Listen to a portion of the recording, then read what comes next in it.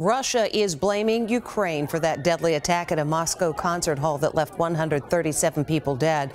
But U.S. intelligence shows the Islamic State was responsible. Now, 11 years ago, Inside Edition was inside that concert hall. We were covering Donald Trump's Miss Universe contest. The video gives an up close look at the site of the deadliest attack in Russia in two decades. This was the concert hall outside Moscow where ISIS K terrorists slaughtered 130 concert goers.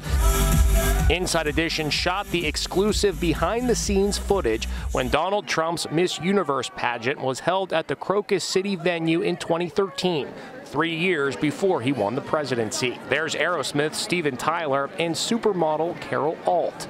Mel B from the Spice Girls was also there. Got 86 beautiful women from all over the world right here in Russia. We interviewed Trump in a room at the venue. You know, so many friends in Russia, and I'm very excited to be here. Here's the previous Miss Universe, Olivia Culpo. She was on hand to crown the winner.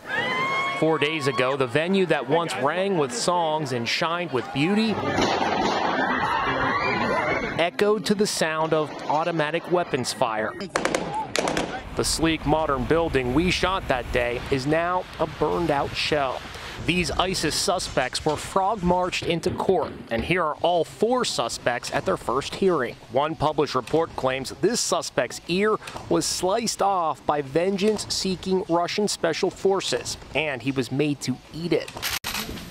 The ISIS linked group claiming responsibility for the massacre reportedly has issued a warning to Vladimir Putin that they are planning more attacks.